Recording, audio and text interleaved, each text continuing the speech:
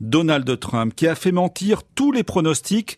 Et Yannick Moreau, le député vendéen Les Républicains, voit dans cette élection la confirmation d'une règle. C'est la confirmation d'un vieil adage bien connu en politique. Ce ne sont pas les sondages qui font les élections, ce sont les suffrages.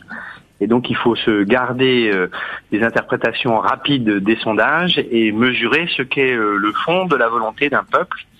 Et moi, j'attends euh, évidemment à ce que nous construisions un nouveau partenariat avec cet allié que nous n'avons pas choisi, mais qui s'impose à nous et avec lequel nous devons construire un meilleur avenir.